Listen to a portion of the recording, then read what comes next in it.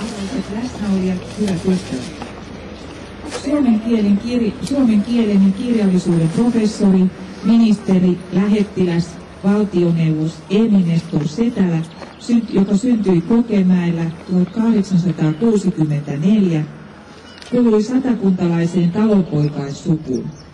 Kun hänen isänsä Otto Setälä kuoli lavantautiin nälkävuonna 1867, vaikeuksiin joutunut äiti Pia katsoi viisaimmaksi antaa lahjakkaan poikansa kasvatiksi lapsettomalle sis sisarelleen Wilhelminalle, joka oli naimisissa serkkunsa Lauri August Palosen kanssa.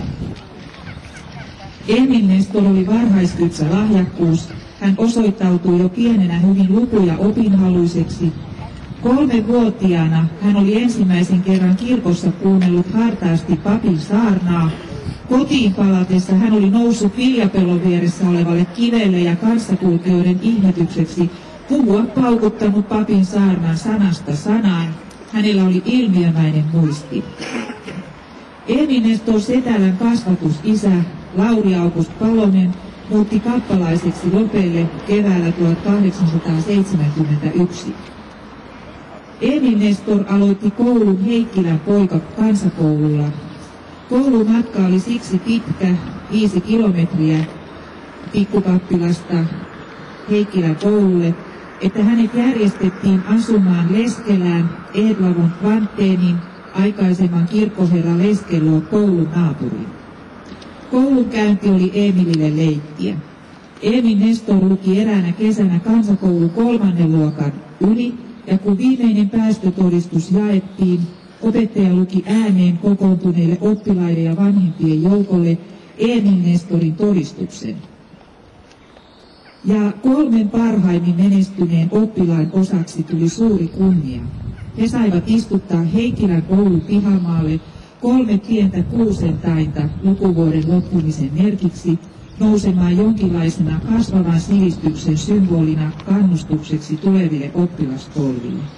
Ja Eemi Nestor oli yksi näistä onnellisista istuttajista. Kappalaistalo Kittilä oli oikotietä vain parin kilometrin matkan päässä Leppälahdesta, joka oli Yrjökoskisen kesäasuntona. Eikä vain pelkkänä kesäasuntona, sillä Leppälahti oli maatila, jonka asuinrakennus oli varustettu talviaikuistakin oleskelua varten. Kertomuksen mukaan oli Yrjö Koskinen ostaessaan Leppälahden, vaikkei se silloisessa kovassa rahassa suurta nimellistä summaa maksanutkaan, kertoo Eemi Nestor Setälä, oli pakko käyttää luottua, ja hän oli silloin kääntynyt Akaton Mörmanin puoleen, jolla oli irtonaisia rahoja. Yrjö Koskinen oli alkanut Akaton Mörmanille selitellä, minkälaisia vakuuksia hän saattoi tarjota. Mutta Mörman keskeytti Yrjö Koskisen puheen sanoin, että minä tiedän, että sinulla on hyvä vaimo ja siinä on vakuutta kylläksi. Ja niin tuli Yrjö Koskinen Leppälahden omistajaksi. Maatilan varsinainen hoito oli tosiasiallisesti emännän huolena, vaikka kyllä isäntäkin sille omisti huomiotansa. Kivikkomäki talon ympärillä muodostui vuosi vuodelta yhä ihanammaksi puutarhaksi terrassien syntyessä kivikontti sijalle. Kello neljältä aamuisin oli Leppälahden emäntä Sofia Fransiska liikkeellä kastelemassa puutarhansa. Hänellä oli tapana kastella sitä aamuisin, ja yhä enemmän alkoi hyödyllisiä kasveja kasvaa kivien keskellä.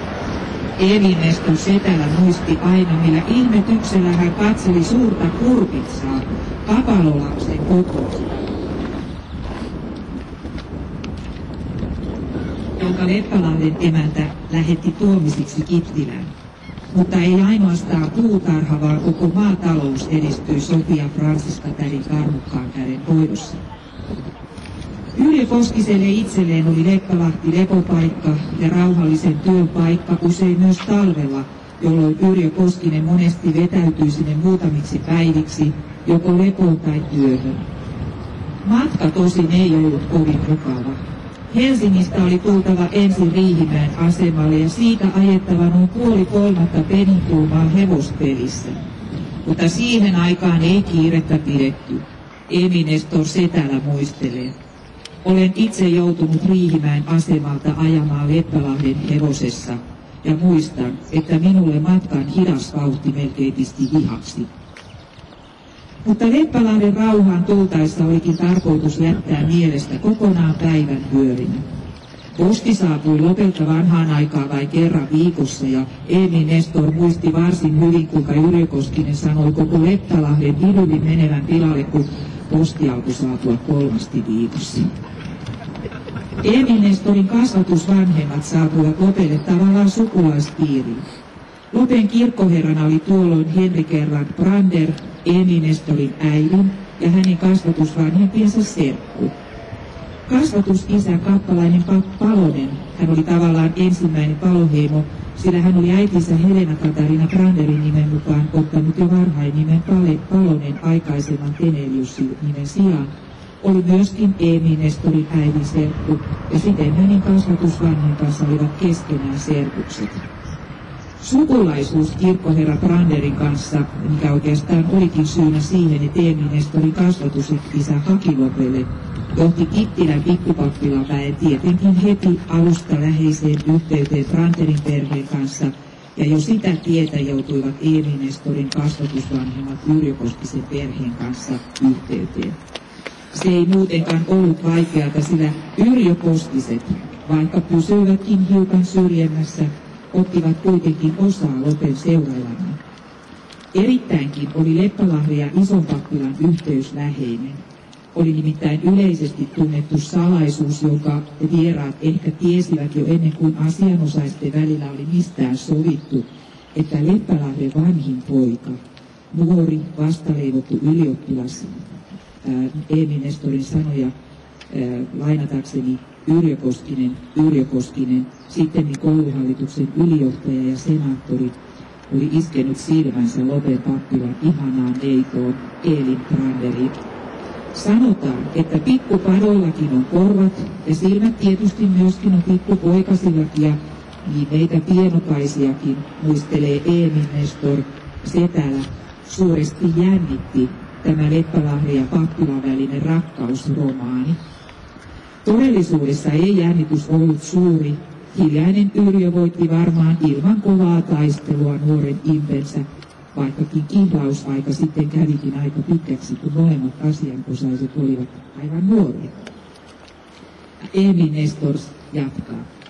Seurustelun muodostuessa perheiden kesken läheiseksi minä jouduin mukaan ja Leppälahden pojat olivat minulle erinomaisen ystävällisiä. Varsinkin Lauri Yrjökoskisesta tuli mitä paras toveri. Asia oli nimittäin niin, että Branterin pojat, siis ison pojat, ne harrastivat kokonaan toisia asioita kuin minä. He olivat kovasti reippaita poikia, seurasivat pappilan maanviljelystä, ajoivat hevosilla tai urheilivat sillä tavoin, kun nyt siihen aikaan harjoitettiin – mutta kirjat eivät heille paljon maistuneet, ja minulle taas kirjat olivat ensimmäinen ja viimeinen asia.